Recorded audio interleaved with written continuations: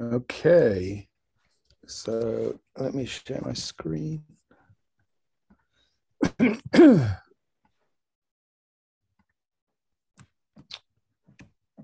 so can you see a slide with the Earth? Yes. Okay, so um, yeah, my topic is oceans, atmospheres, and climates. And let me begin by saying thank you very much for the invitation to talk with you. Um, I, I, don't know much about Maryland Natural History Society, but I'm eager to learn. And I hope what I have to say um, is interesting to you. It expands beyond the bounds of Maryland and it looks at our planet kind of like from this perspective on large scales and also long time scales. So before I start, let me say a little about me. Oops. There we go. Um, as Bronwyn said, I'm a professor in Earth and Planetary Sciences at Hopkins. Uh, my training is in physics and in oceanography. I study ocean circulation and dynamics. And here's a selection of some of the things that I think about a lot of my work has been to do with what we call the subpolar North Atlantic Ocean, which is between Canada, Greenland, and Northwest Europe, the Nordic seas, and the Arctic. So we think about the currents in this system.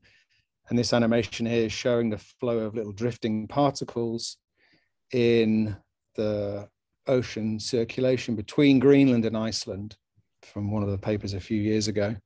So I do ocean circulation models. I simulate the ocean currents. Um, I work with people who make observations. I've been to sea many times myself. So in the background, you see a picture of Iceland and this beautiful green, blue, purple color is the color of chlorophyll from phytoplankton. So the plant material growing in the surface of the water, which we can see from space. I do theory. Bronwyn said I shouldn't have any equations. I'm sorry, I had to put one in, but it's just a placeholder. There aren't going to be any more. Um, I teach. Here's the front cover of the book I um, that Bronwyn mentioned. And then over here on the right hand side, is, my family, my wife and I have four kids between us. They're all in their 20s at various stages going through university. And I'm, I'm originally from the UK, but I've been in the US for uh, nearly 25 years. Okay, so let's think about our planet, and in particular, North America, 20,000 years ago, because the climate was very different at that time. And this is an artist's impression of what the globe might look like, kind of corresponding to the one that you saw on the, on the uh, opening slide. And the principal difference is that you can see all of this white stuff over the Arctic and here's Northwest Europe, Greenland is here, and then over North America. So this is the ice age. This is the last glacial maximum. And Earth has been in a phase of, sorry, um, sliding into ice ages for about 80 or 100,000 years, and then rapidly deglaciating for about 10 or 15 or 20,000 years, and then sliding into an ice age for many cycles for the last two or three million years. And sorry, I'm having a bit of problems here. Okay. Here's a picture that shows the extent of the ice sheet at the last glacial maximum 20,000 years ago over North America. And this is called the Laurentide ice sheet. And so you can see the outlines of states. So the, the ice ended, the ice sheet ended somewhere close to Harrisburg. It did not go all the way as far as Maryland, but it was pretty close. Um, and then it extended over most of uh, northeast US and Canada. Um, and there was also a large ice sheet, much larger than today, uh, in the Antarctic and in the um, high latitude land in the southern hemisphere. So here's a pic. Oops, sorry. Here's a picture that shows um, the relative thickness of the ice sheets for various important cities 21,000 years ago at the last glacial maximum. So here's Chicago, skyline 900 meters of ice over Chicago, Boston 1250, Toronto 2100, Montreal 3300. So this ice sheet was thick and it was there for tens of thousands of years. Now, if you look closely at the map on the right hand side and look at the coastline, for example, here in the southeast of the US, you can see that the, the, the US kind of looks a bit bloated, kind of looks like it's grown somewhat. And that's not accidental, it's deliberate on the, per, on the part of the person who drew this picture, because at this time, sea level was lower, it was significantly lower. In fact, we think it was about 120 meters lower than it is today, so about 400 feet. So that's why Florida looks much bigger than it does today, for example. And the coastline at Ocean City, for example, that would have been 40 miles from the, the water from the beach. And so over here on the right-hand side, you can see some data showing the way in which sea level has changed over the last 120,000 years. Okay, so 20,000 years ago was the last glacial maximum. Sea level was about 120 meters lower than it is today. And the reason for that is that a large part of the ocean was stored in ice sheets on land, like in the Laurentide ice sheet. And so sea level was just lower for that reason. Now in the upper panel, you can see some more data showing the last glaciation and it shows in red the temperature variation. So it's an ice age, it's colder. And during the last glacial maximum, it was about eight or 10 degrees colder on a global average than it is today. And then you can see it rapidly increases to about zero for the last 10,000 years during the, deglace, during the deglaciation. And then the blue line shows the concentration of CO2 in the air, in the atmosphere. And these data are from an ice core in Vostok. So Vostok is a location in Antarctica. So you drill an ice core, you analyze the gas dissolved in bubbles to estimate the CO2, and then the temperature comes from uh, an isotope called deuterium. Okay, so we know this really quite well. The planet was different 20,000 years ago. Sea level was lower, it was colder, and there was less CO2 in the atmosphere. Okay, now we can go even further back in time. So what I'm going to play for you now is we're going to go back half a billion years. And you can see the clock ticking here, going backwards in time in millions of years. So we're now at 30 million years. And the point of me showing you this animation is that you can now start to see the continents drifting. So during the last ice age, the continents were in the same place, but go back tens of millions of years and they were not, they drift. So the Atlantic Ocean is closing up as we go back 100 million years ago. It's almost entirely closed. Here's India, which is tracking back to close to be the, to the South Pole. Now the Atlantic is almost completely closed up. And the Pacific is much wider than it is today. The Pacific today is already half of our planet, but at this time, 170 million years ago, it was maybe three quarters of our planet. And now it accelerates a little bit to get back to half a billion years ago. You can see the continents moving around. And if you follow my cursor, which I hope you can see, you can see the outlines of the US states.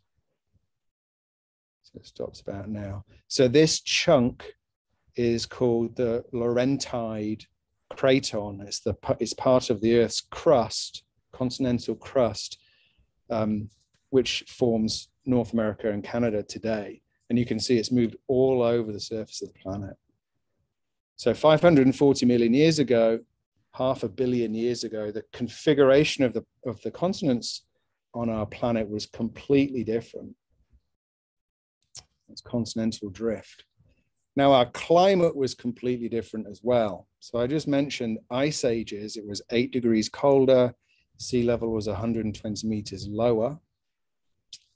And it lasted for about 80,000 years. Okay, well, 500 million years ago, there was an even bigger monster ice age, and it's called a snowball climate. And in the snowball climate, you can see an impression from a, an artist's impression of what it might, the planet what might look like at that time. The entire planet is covered with ice. So in the upper panel here, you can make out, roughly speaking, the positions of the continents. So this would be Laurentia, okay, which became North America and Canada. And then you can see the thickness of the ice sheets over them. Okay, so 5,000 meters thick. And there are ice sheets all the way to the equator. And the large ocean is covered in a really thick layer of marine sea ice. And this diagram here shows the kinds of thicknesses we're talking about. So this is the thickness of the ice over the sea, 300 meters, 700 meters, maybe even up to 1500 meters thick. So the entire planet is encased in ice. It's much, much colder. So the diagram here shows the kinds of temperatures that one might expect as a function of the latitude here. So you're talking, so, so sorry, the dashed line is the melting point temperature for fresh water. The temperature is in Kelvin. So that's 273. So you're talking even at the equator, at maybe minus 10 centigrade or minus 20 centigrade. So the same kind of temperatures you would get on a really cold day in Maryland in winter now. Um, if it was a really deep snowball climate, it might be 40 or 50 degrees centigrade below freezing. And then at the poles, you're talking about minus 100 degrees C.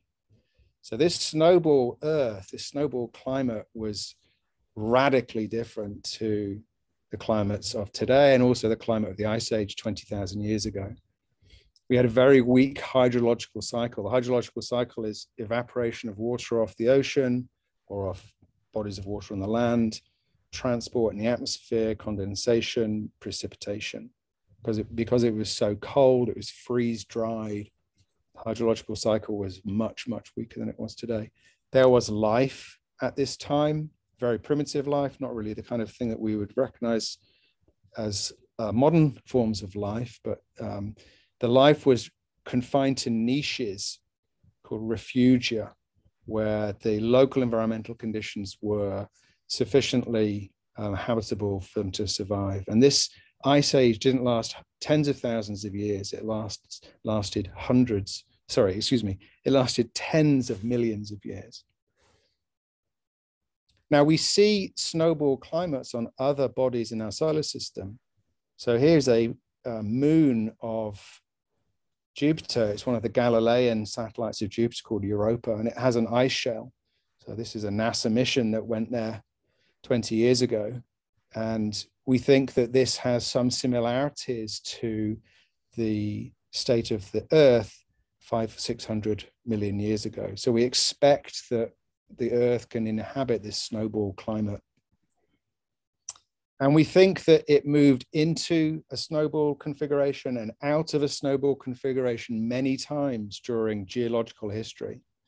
So that's what this diagram shows here. So on the bottom, you see nearly the entire history of the Earth. So it goes back his time, it goes back to 3,000 million years, or 3 billion years ago. So the Earth is about four and a half billion years old. And so we're right over here on the right hand side. Okay, well, this light colored patch here means that there's regional ice ages. So we're in a phase of Earth's history where we have glaciations, which the ice sheets expand, but they don't go all the way to the equator. Then they contract, then they expand again, then they contract. But there were also these periods of snowball Earth. So the the, the main one is here between about 620 and 740 million years ago. So the biggest one is called the Sturtian. It lasted 50 million years. And there's the Marinoan, which lasted 15 million years. For some reason, then there's this gap going back in Earth's history for 1.5 billion years with no glaciations. And then there are more glaciations nearly two and a half billion years ago. So our planet can inhabit radically different climate states. And in case you're wondering, this is all for the same sunshine intensity. So the sun's output has not changed over this kind of, not changed significantly over this kind of time span. So this going into and out of ice ages is to do with some internal process in the earth. Okay, so let's try and understand that a little bit more, and we're gonna we're gonna address that by thinking about the present day Earth, because of course we know much more about the climate of the present day Earth. And so I come back to the figure that I started with. So you have all seen this picture, I guarantee, because it is one of the most widely distributed photographs, I think, in the history of our species. Um, and it is an opportunity for you to interact. Um, I'm going to ask you a couple of questions. I'll give you I'll give you a little bit of information, then I'll ask you a couple of questions. So the first question, the first piece of information is to tell you that this picture was taken with a regular camera, uh, like a like a film camera. Okay, it was not a digital camera, but it was a it was a regular film camera. So this is actually what it looked like, and it was taken uh, with a camera in the hands of an astronaut on the way to the moon. So you can see Africa, for example, and the Indian Ocean, Madagascar, and so on. So my question to you, I can ask some kind of strange questions, at least they initially seem to be strange. Um, what time of day was it when this picture was taken? Does anybody Feel have any put- ideas? Put your answers in the chat box, or if you want to unmute. Oh yeah, that'd be terrific. Yeah. Yeah. Anybody? Don't be shy. Jack says daytime. Kathleen says night. Okay. So that covers it. Okay, let me be a little bit more specific and I'll give you a clue. When I say time of day, I have to be specific about where, right? Because sometimes, I mean, right now it's evening, but the other side of the world it's dawn. Um, what time of day was it in Baltimore, in Maryland?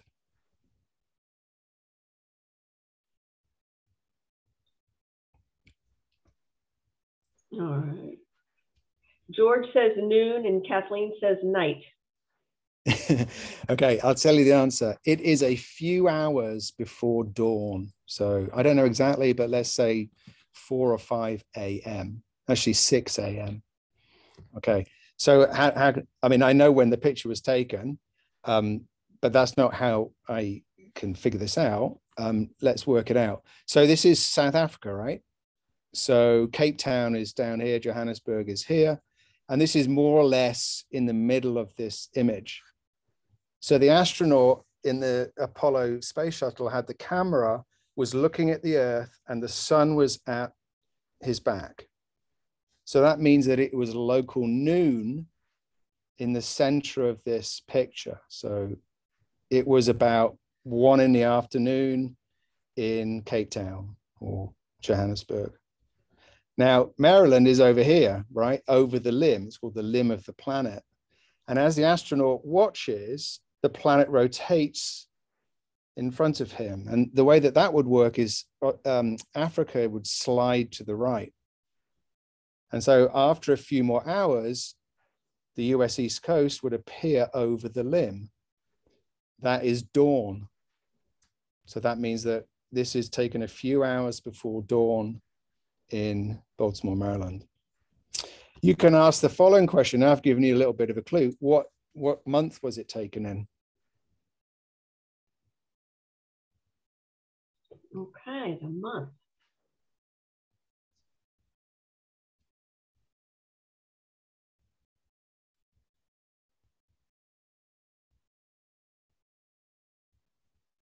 Kathleen says September, greater than Okay. September. David in Maryland says July.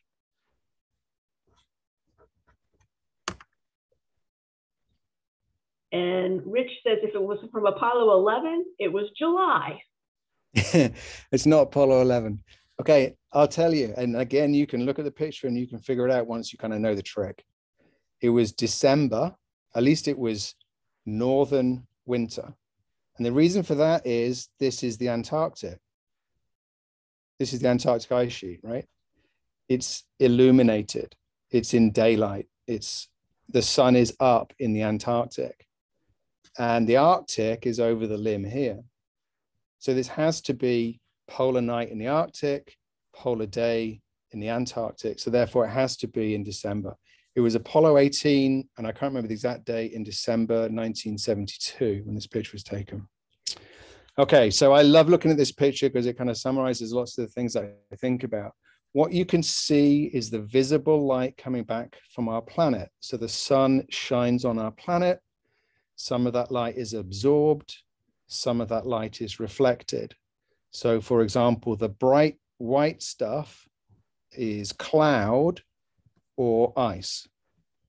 And the sun is white light. So most of the light is just being reflected off the cloud or the ice. The ocean looks purple or inky, dark, because most of the light that uh, that reaches the ocean surface is absorbed and not much is reflected. And land is kind of in between. And you can see the difference between Sahara Desert or the deserts in Southern Africa and the heavily vegetated Central Africa.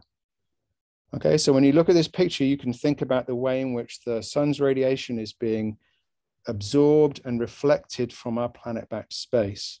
So let's look at that in a little bit more detail. So what you're going to see now is some an animation of some satellite data. So there's a satellite program run by NASA. It's called CERES that is looking at the radiation budget of our planet. And what this shows is the shortwave TOA stands for top of the atmosphere flux. So this is just a quantification of what we just saw a second ago. So where, where it is white, you see cloud. So they're bright white clouds which reflect the sunlight back. Where it's dark or, or a dark, a lighter shade of blue, there's less radiation coming back from our planet because the sunshine that hits that part is absorbed. So that's over the oceans and then over large parts of the land.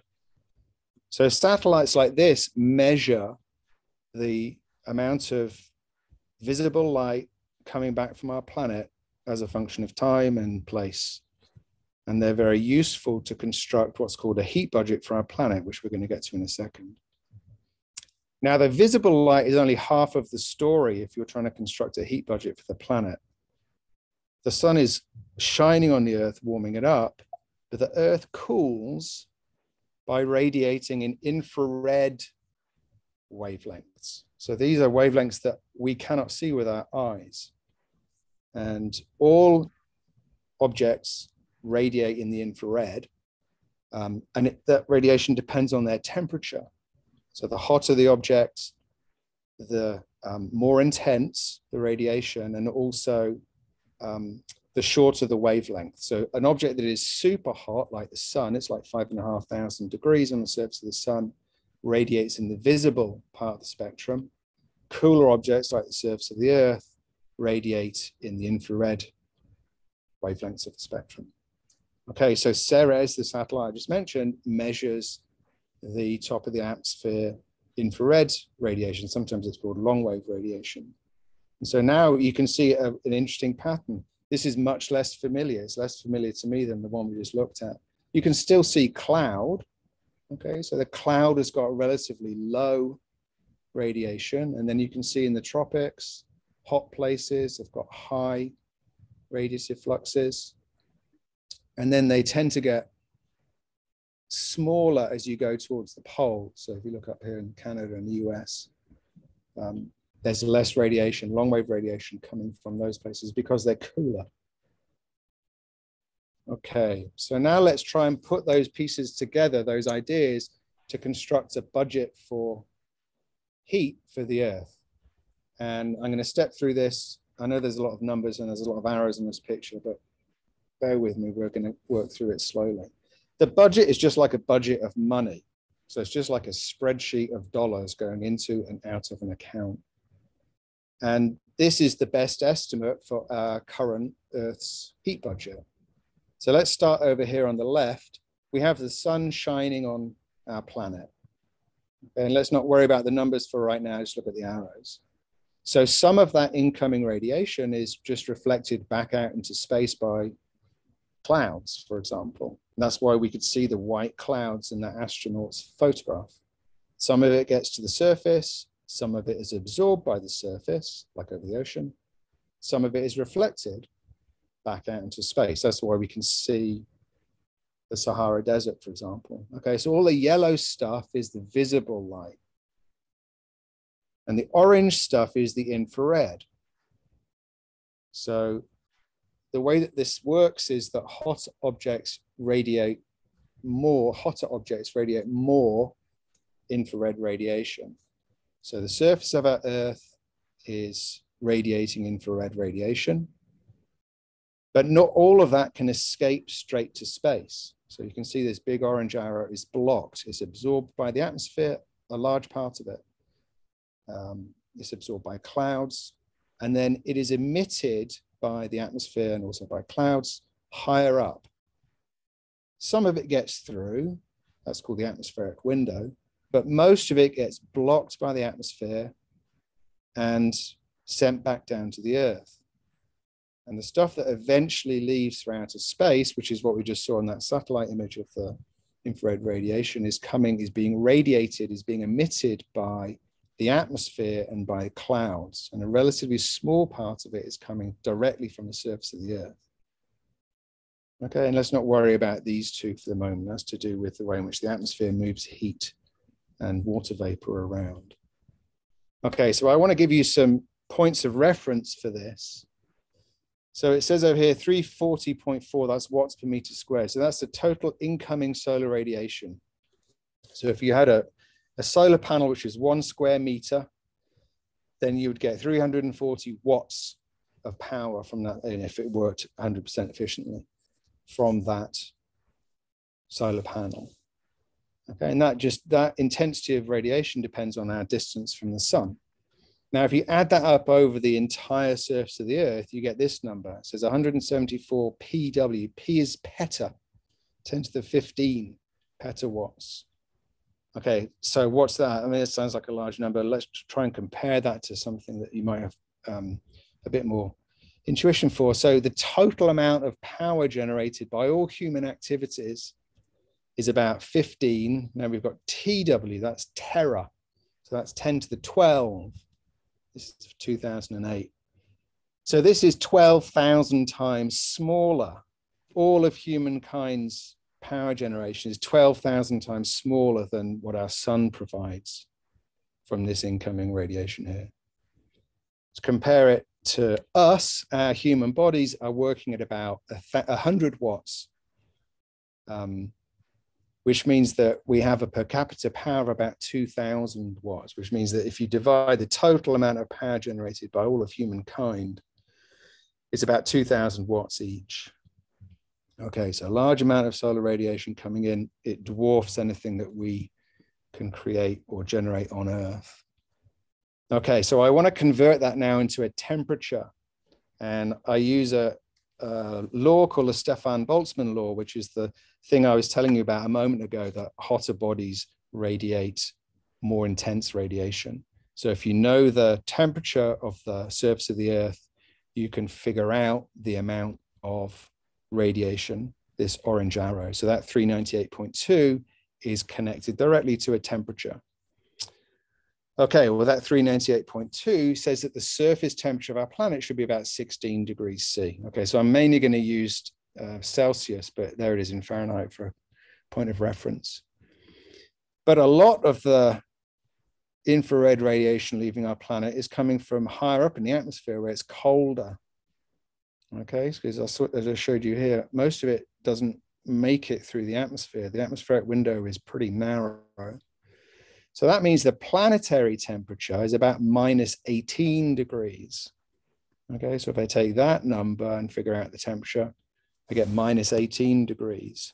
And so what that means effectively that is that the atmosphere, which is in between this big arrow down here and the one leaving the planet, is warming our planet by the difference between these two numbers.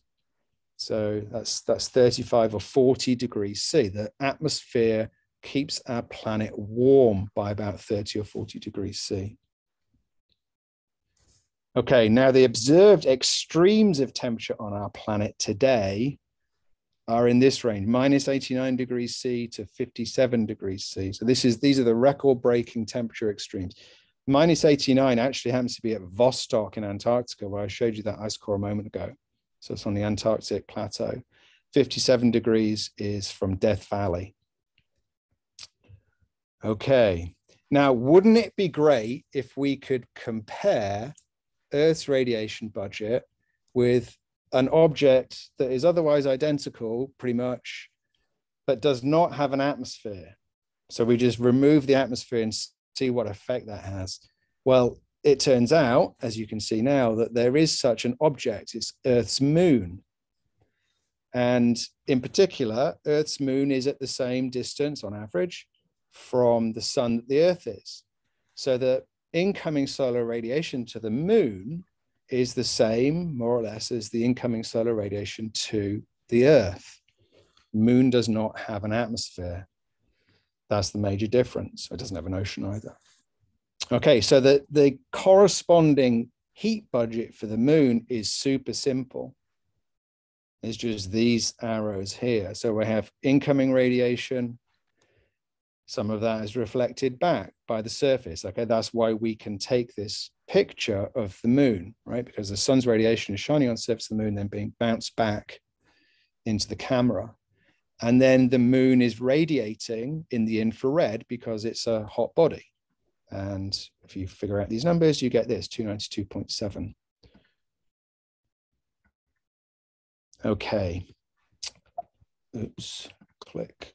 Okay, now if you take this number, 292.7, figure out the equivalent temperature for the moon, you get about minus five degrees C.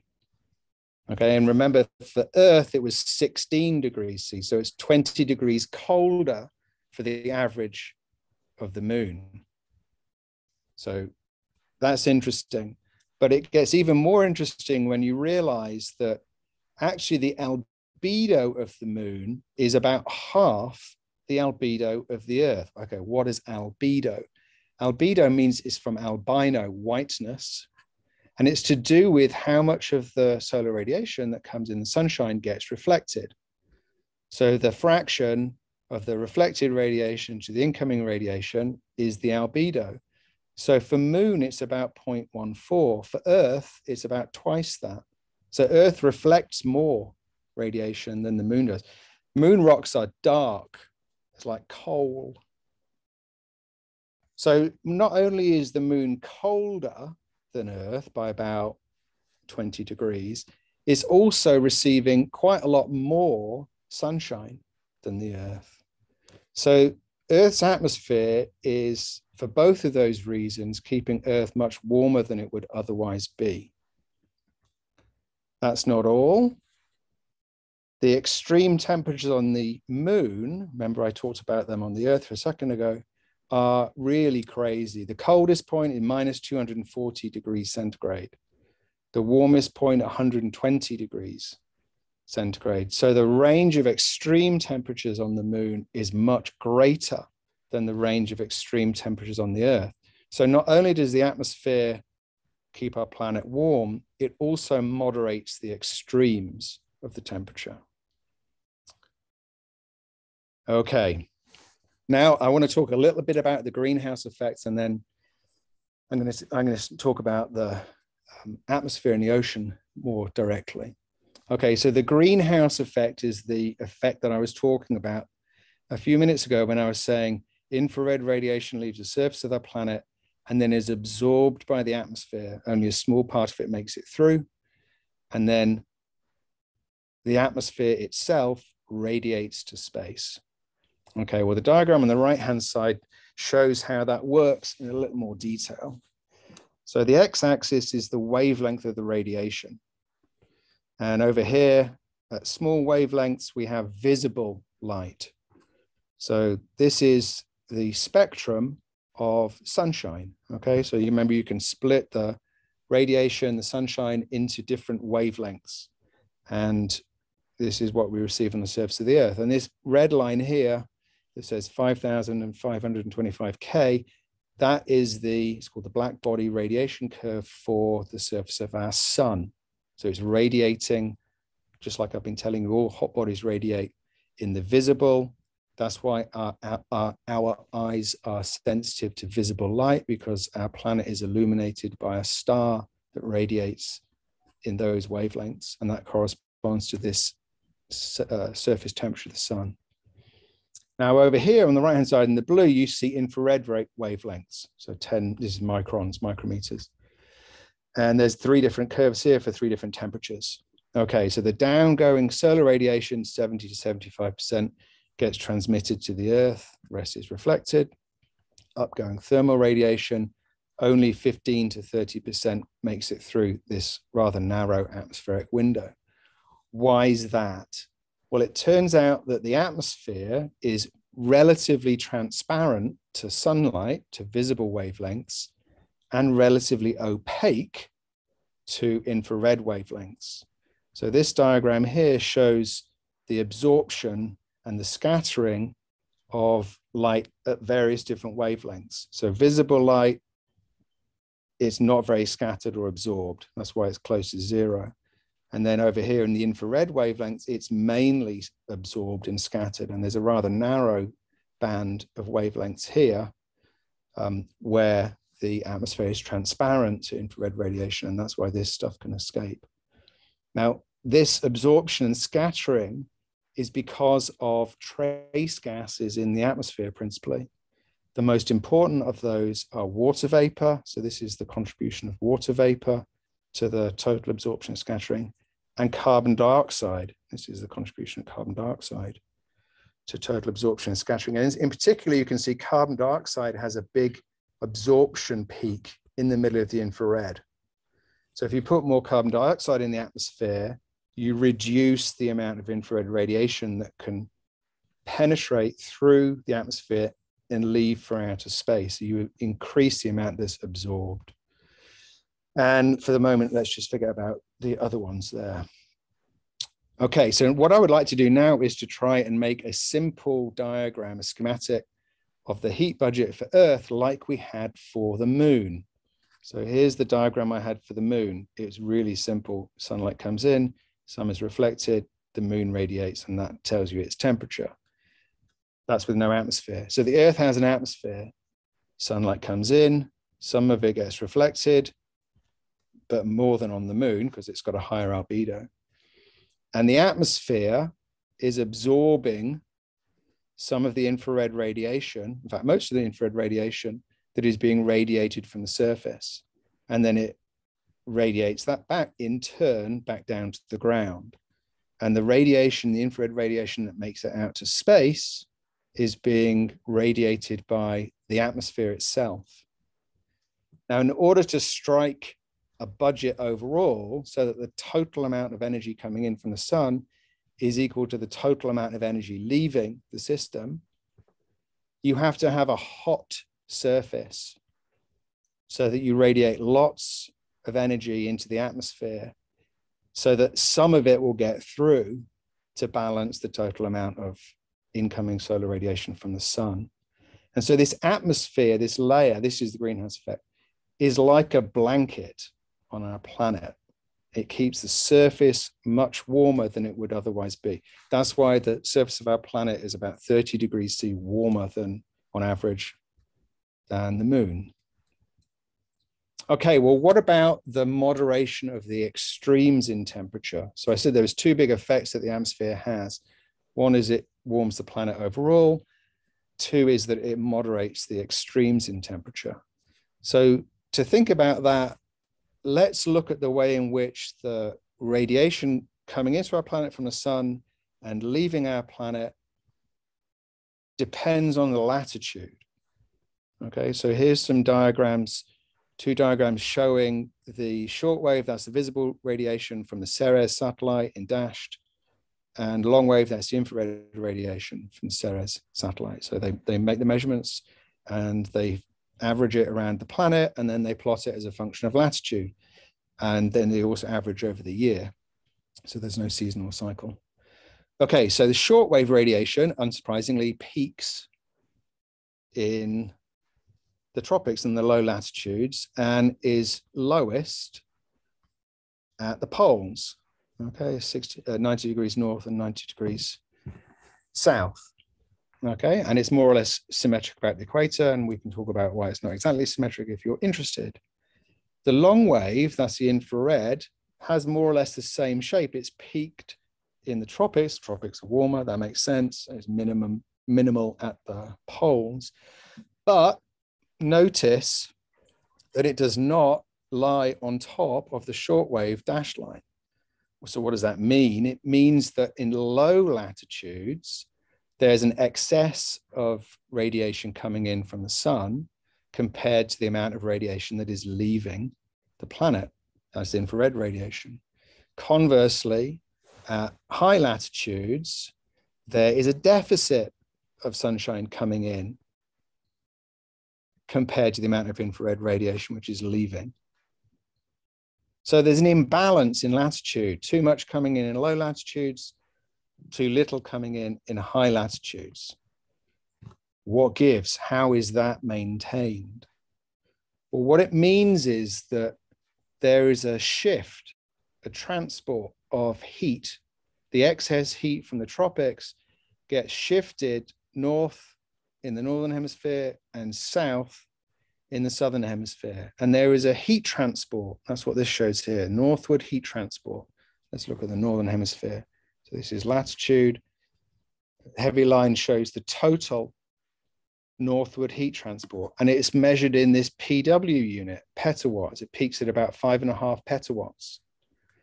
So just for comparison again, total solar power is about 174 petawatts. So that's what 30 times bigger than this. Human power is a measly 15 terawatts.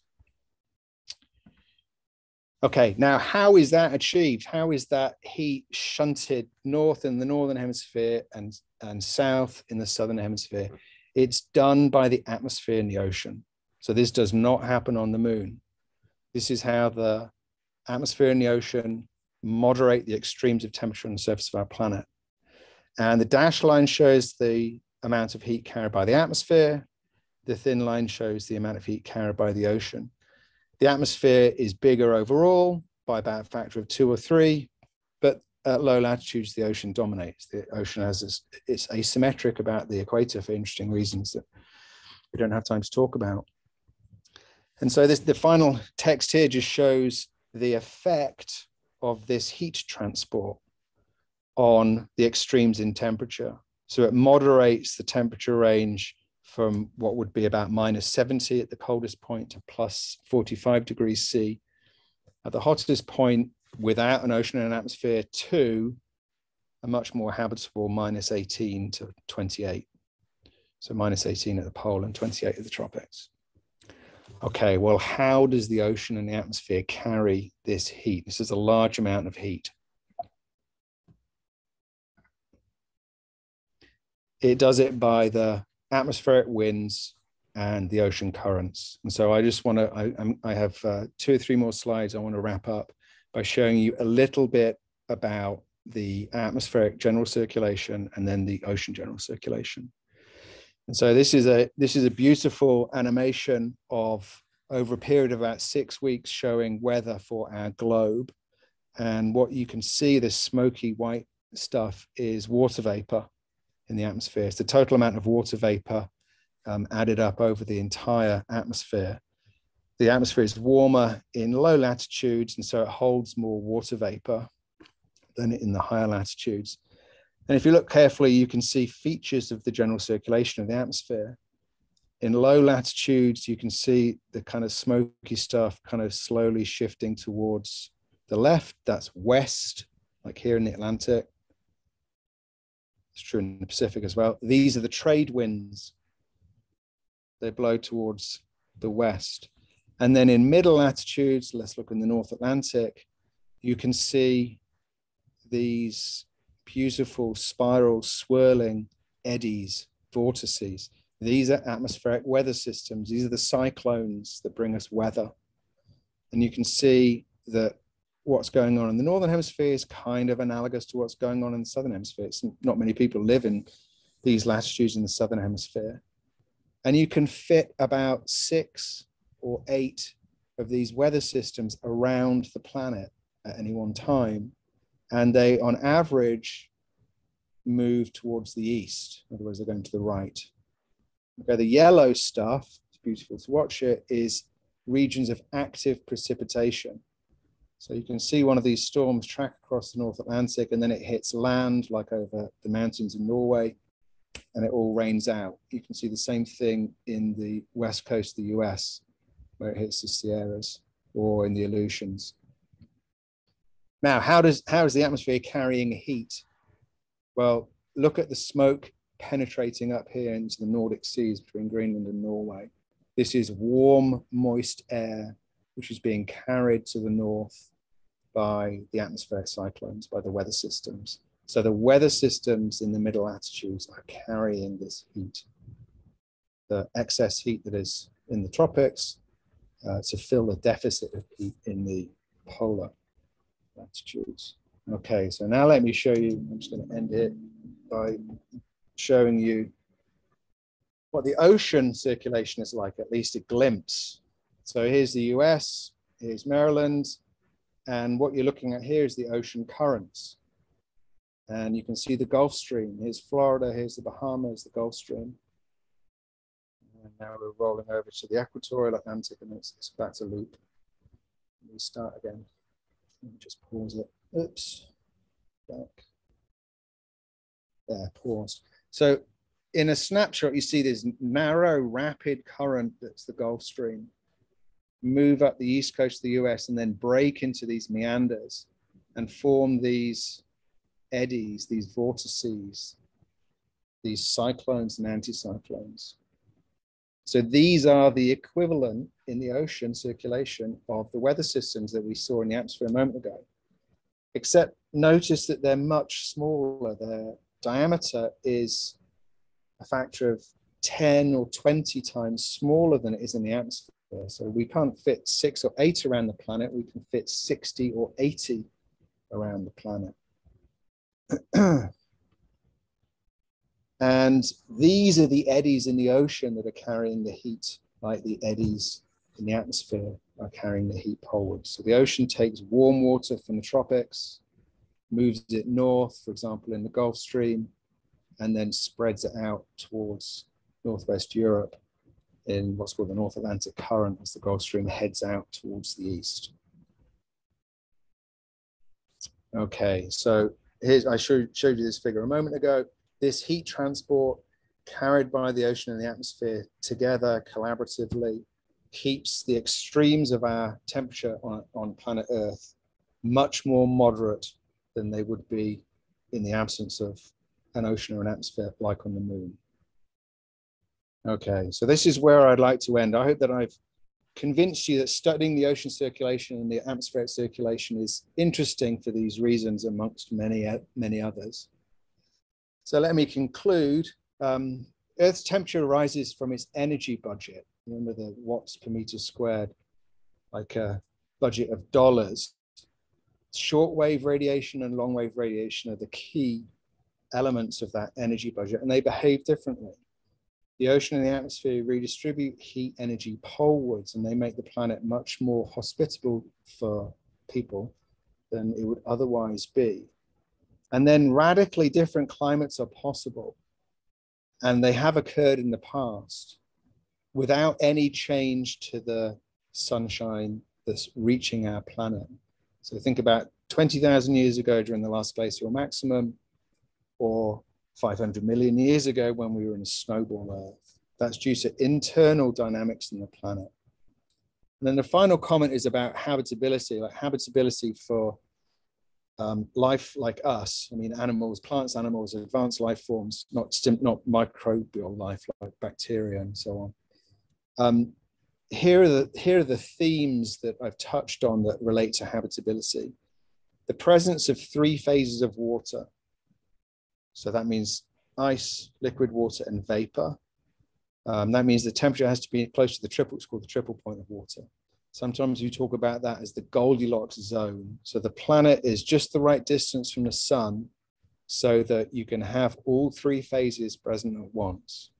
The ice affects the albedo. So as the ice expands, the albedo increases and the planet can radiate more sunshine away. Um, the water vapor in the atmosphere uh, carries uh, heat from the equator to the poles and that I just described. So that's that's uh, sort of key point number one. The second is the greenhouse effect. So the most important greenhouse gases are water vapor and CO2.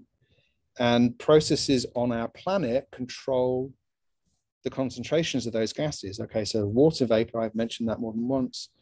That's part of the hydrological cycle. That's a really important greenhouse gas. I've not talked about talked about CO2 cycling very much, um, but there are really important feedback processes that control the concentrations of atmospheric CO2 as well that are internal to the Earth. And then the final thing is, I think for a planet to be habitable, it would have to have fluid ocean, uh, excuse me, a fluid Earth. In other words, it would have to have an atmosphere uh, and also possibly an ocean. And then the key themes that are involved there are to do with the radiative transfer, the fluid dynamics and the thermodynamics of those fluid earth elements. Okay, that is everything I had. Thank you for your attention. I welcome your questions and comments. Thank you, Dr. Haine. That was amazing. Can you unshare? We'll come back together and I'll do questions and answers.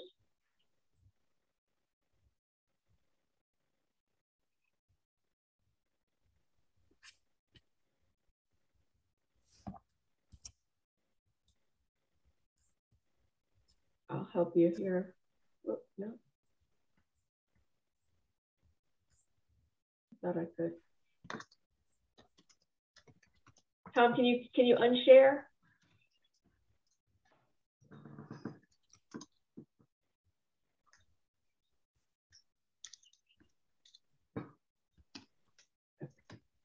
All right, here we go. Okay. Um, if you want to be um, to ask Tom a question, Dr. Haine a question, you can raise your hand or put it in the chat box. Okay, there's a question um, here about um, worst case scenarios for current climate change. Yeah, so I, I steered clear of global warming and anthropogenic climate change, not because that's not important, but that's just the choice that I had. So the planet is many of the things I've spoken about are changing. Um, one of the things that we think is going to happen in the 21st century is that the strength of the circulation, the currents in the ocean in the North Atlantic are, are going to weaken. And that may or may not be manifested as a weakening of the Gulf Stream. And part of the reason for that is that it's there's lots of melting ice in the North Atlantic, and it's also getting warmer in the North Atlantic, um, which means that the density of the water is decreasing. Um, what in the time frame for such a disaster okay so the time frame for the so people talk about weakening of the circulation in the north atlantic ocean and also shutdown which are two different things. The timescale for weakening we think it's going to weaken over the next several decades and maybe a couple of centuries. And we think almost certainly that's going to happen but maybe it's going to weaken by 20% or 30% maybe it will weaken and then recover. It might shut off, and we don't really have a good handle on what the chances of that happening are. Um, if it does shut off, it might happen as fast as 10 or 20 years, but that's got a really large error bar on it, that number, and it's an area of active research.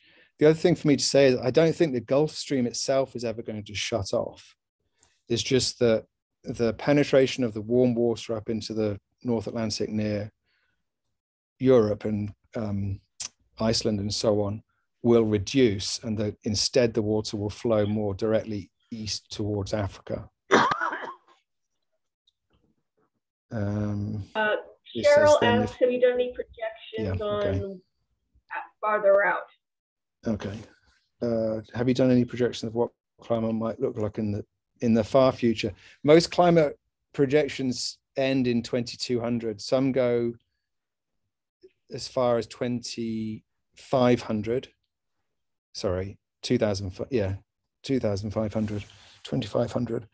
Um, they're highly uncertain. So on those kind of timescales, it makes a huge difference how much greenhouse gas we emit into the atmosphere. So a large part of the uncertainty about future climate is to do with how we change our infrastructure for energy generation, uh, for example, um, and use of fossil fuels and land use changes, deforestation, and so on, and emission of carbon dioxide into the atmosphere. Um, and I think people can, I mean, the socioeconomic predictions can look forward a few decades, and then there are various scenarios about how that might play out as a business as usual scenario where we don't shift away from fossil fuel energy production. And then there's an optimistic scenario where we do that rapidly and we become carbon neutral fast. Um, but going past 2100 to guesstimate what the emissions will be like is really, really uncertain. So everything I think depends on that. The continents aren't going to move around on that, that time scale. And the, if there had been no anthropogenic effects and there had been no global warming, the Earth would have been poised to slowly slide into another glaciation, which might take the next 60 or 80,000 years. And so the ice sheets would take 60 or 80,000 years to grow again. So, it, so on the timescale of a few hundred years, there isn't going to be a massive growth of ice sheets either. Marie okay. asked, "What's the what is the cause of the asymmetries around the equator that you mentioned?" Okay, so I'm going to show the screen again. Um,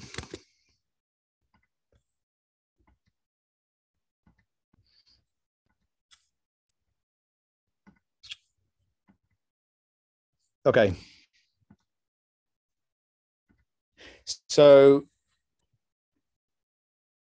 the asymmetry in the short wave is due to the fact that in the Antarctic, there is an ice cap, um, whereas in the Arctic, there is an ocean which has got some of the time sea ice on it.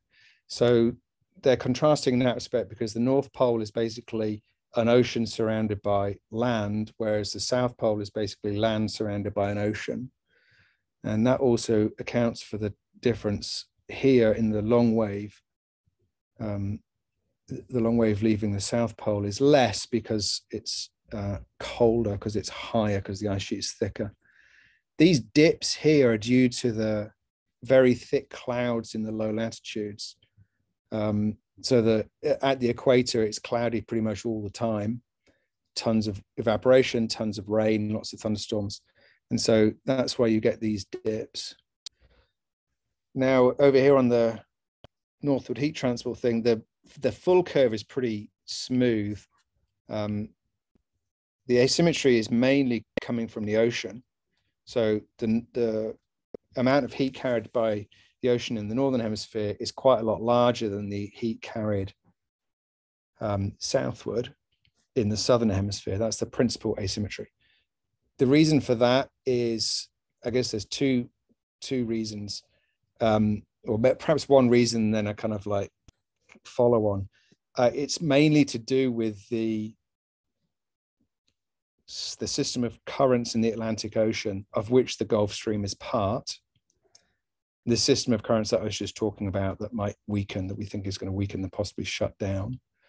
And that carries a lot of heat in the Atlantic basin northwards, both in the Northern Hemisphere and kind of paradoxically in the Southern Hemisphere in the South Atlantic too. So the ocean currents are carrying the heat um, north towards the equator in the South Atlantic, um, which is why that there's this asymmetry here. But the the ocean is also quite asymmetric with respect to the northern hemisphere and the southern hemisphere. There's much more ocean in the southern hemisphere than there is in the northern hemisphere, whereas for the atmosphere, that's much more symmetric.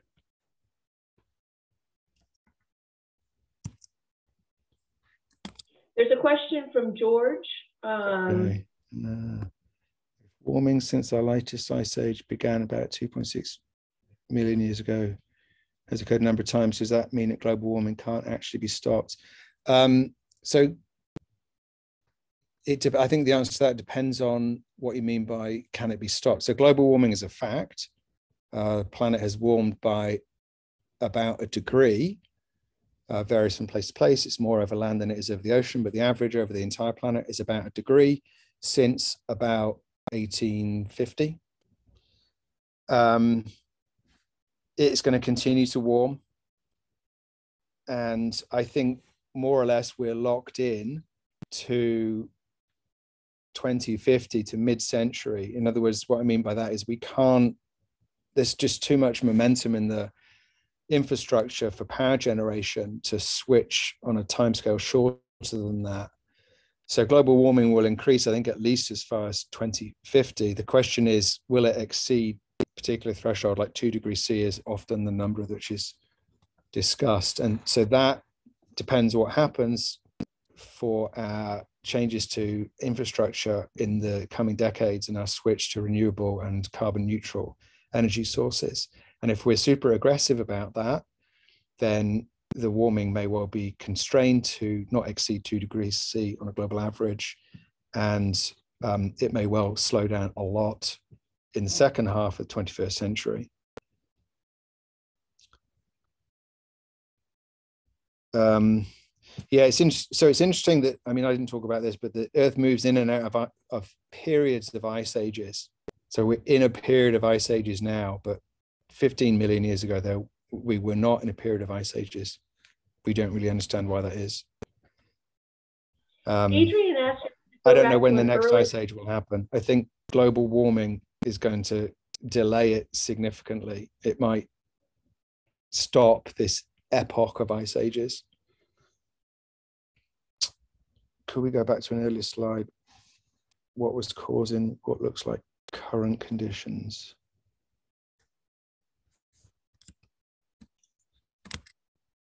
Perhaps you could tell me Describe the slide. I show you them all. It's uh, slide number, I just saw it, number six.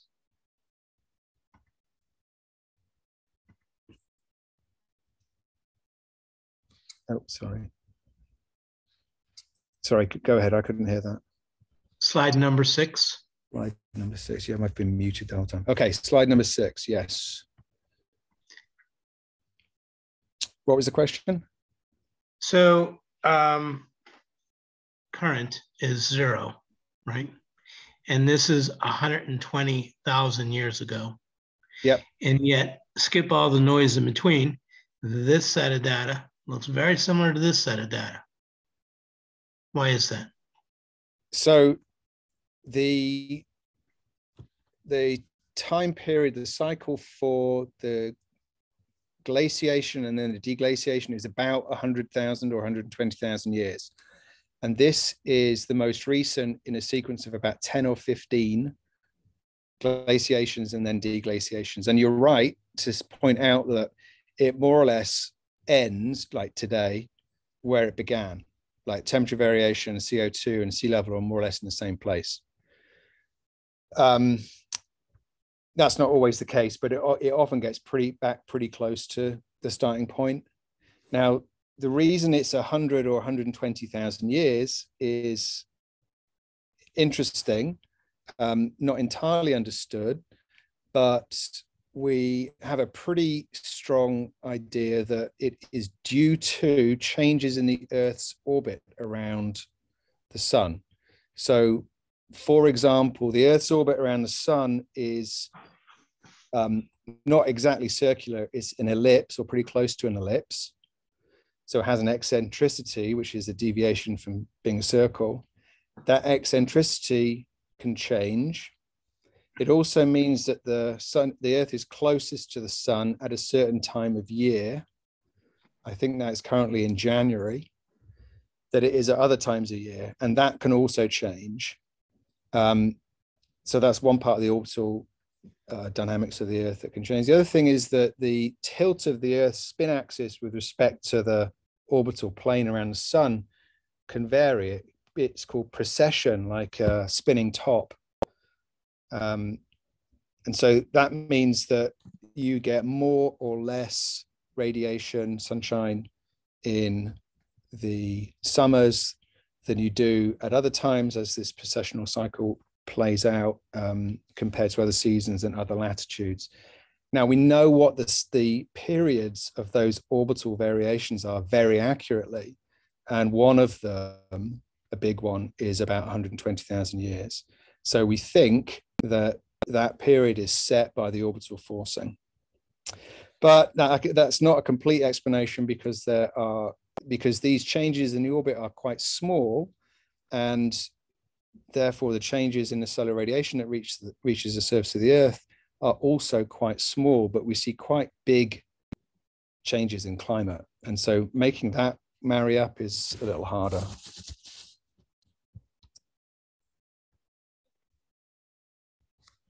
Adrian, did that answer your question?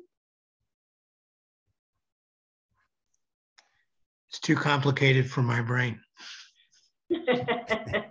oh, I'm sorry. Do you want me to? Do you want to ask it again, and I can? No, no, no, no. Yeah, okay. Uh, I'd I'd uh, I'd like to figure out when you're giving another lecture so I can attend the uh, the second round. Well, uh, we're trying to get him to do a, a an actual a class maybe on on oceanography or climate, so that would be great. Um, uh, so um, everybody um, stay tuned on that. This is this the, this is a teaser from Dr. Haines. But I think it's interesting because we so much so often our presentations get down in the weeds, uh, um, literally in terms of we're looking at individual plants or animals or uh, organisms. And this was a really wonderful um, change of pace where we're looking at more of a global uh, perspective and um, I, I, think that it, it, it is very helpful to, to take a, a step back and do that. We did have a question, Dave, if Marilyn asked if there was any way to, they want to look at these um, and study your graphs more. There's another way to get um, this presentation so that they can go through that again. Sure. So I can email it to you, Bronwyn. The, the movies will just be stills, but I can email you a, set of uh, slides. Okay. And I welcome any emails or whatever. Just reach out. I'm happy to to chat. Wonderful. Well, thank you very much, um, Dr. Haines, Tom, and uh, Mason just got in from his baseball game, so he, he he got up here and he's like, "What is he doing on the screen today?"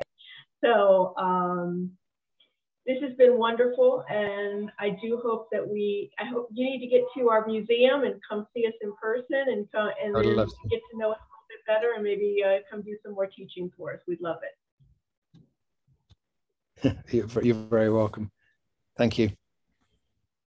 Thank you very much, everybody. We'll see you. Uh, hopefully, we'll see you at World Turtle Day uh, on Sunday. Uh, if not, uh, we'll see you back online for one of uh, the presentations. So stay well, stay curious, and stay outside, stay exploring. All right, everybody, take care. That was a great talk. Thank you very much.